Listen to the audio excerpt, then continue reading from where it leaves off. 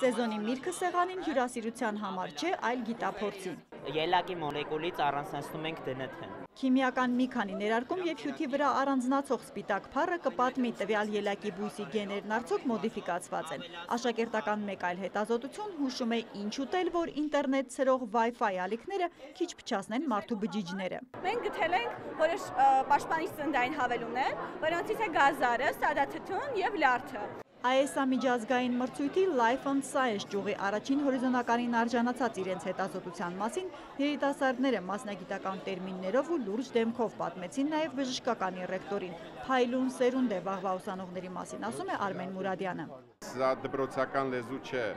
սա անգամ ուսանողական չէ, սա պրպտուն երիտասարդություն է, որը միանշանակ կարող է հերանեկարներում խորհրդանշել մեր երկրի մտավոր ներուժը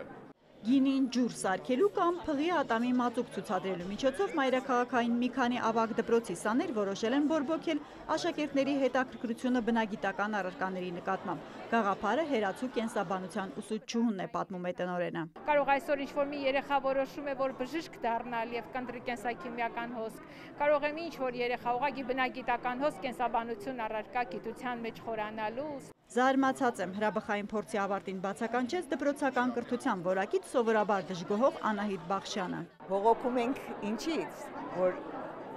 շատ դպրոցներում այս գիտելիքները